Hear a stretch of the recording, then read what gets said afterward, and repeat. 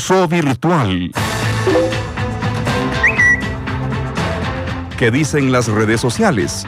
¿Cuáles son las posiciones de los aficionados? André, aquí está el pulso social y el pulso virtual. Sí. Más bien. Y también desde ya aprovechamos para que eh, podamos abrir unos minutos la línea telefónica y que la gente pueda hacer sus consultas al 905-222-0000, pero antes usted nos lee algo. Este es el momento para que ustedes puedan participar, por supuesto, dar su opinión a través de las redes sociales o al 905-222-0000. Hay muchísimos comentarios en el Twitter, arroba Radio Monumental y por supuesto en el Facebook. Dice Gustavo Solís para doña Epsi Campbell. O sea, que van a cerrar señal cuando juegue la Champions porque la patrocina una cerveza, en este caso Heineken, dice Gustavo Solís. Pablo Campbell. Sí, tal vez doña Epsi, sí, no sé si de vez. la respuesta. No, efectivamente lo que estoy diciendo es que mayor publicidad genera mayor consumo. Y si ponemos publicidad nacional genera mayor consumo y eso es un impacto a la salud pública. Pablo Campbell dice, Don Hoover, donaciones al fútbol. No, Don Hoover, eso no es posible, eso no existe en el fútbol.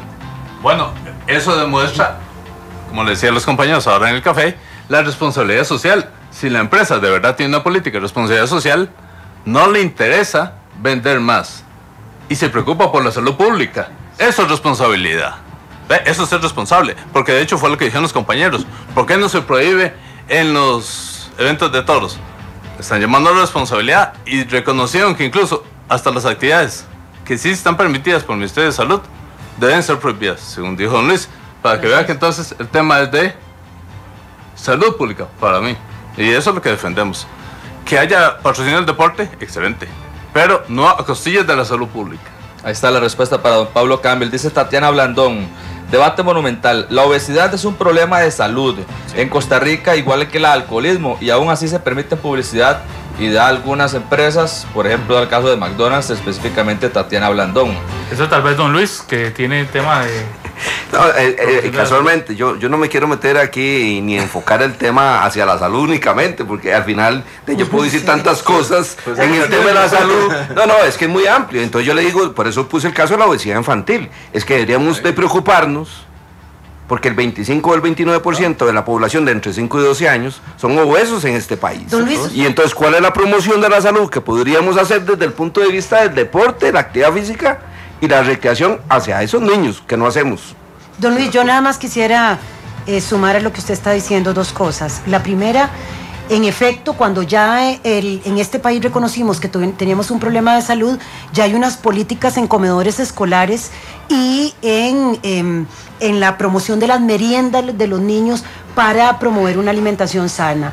Eso hay que multiplicarlo por 100, pero sería totalmente contraproducente que reconociendo que hay obesidad, que tengamos en las escuelas ventas de comida no saludable, por ejemplo, totalmente contraproducente. Entonces creo que sí hay un tema de promoción de la salud, pero lo que no podemos hacer es, reconociendo un mal, haciendo, promocionando actividades que agravan el problema que tenemos. No, no, pero es que cuando hablamos no puede ser un pedacito, doña Aise, perdón. La salud es integral. Y entonces, y por eso, entonces, ¿dónde están los educadores físicos de primaria y del kinder? Están en secundaria. ¿Y qué hace el Ministerio de Educación?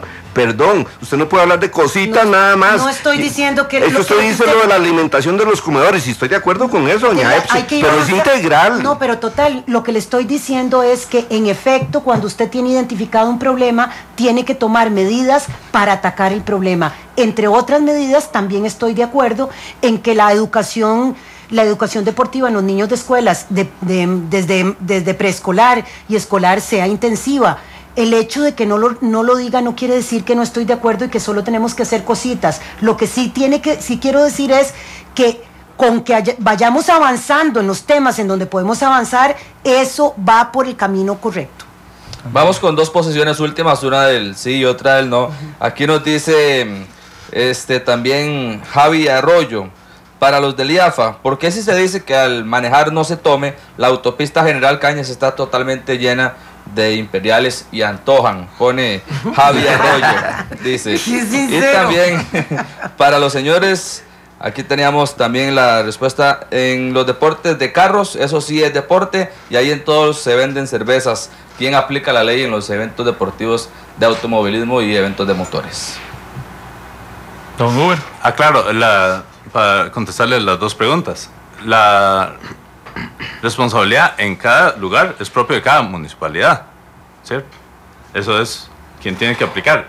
Y en ese caso, eventualmente cerrar las instalaciones por incumplimiento de la ley. Y la primera pregunta era de... De las carreteras. De las De las carreteras. carreteras. Bueno, ahí más bien, precisamente está fortaleciendo la línea que le estamos diciendo. Está diciendo que hay mucha publicidad y que haya en los deportes, general, en todos, va a generar un impacto todavía más alto, tal y como dicen los estudios. Mínimo del 16% el incremento en consumo y por consiguiente todas las consecuencias sociales, violencia entre familiares, etc.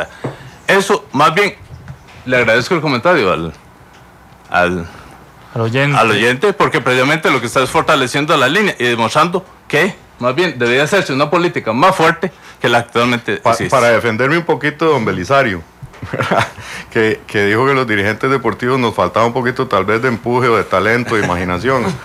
Eh, Eso es que- Viera qué talento, qué imaginación y qué empuje tenemos que tener, Belisario. Usted lo sabe, para poder llevar financiamiento a los clubes y a las ligas.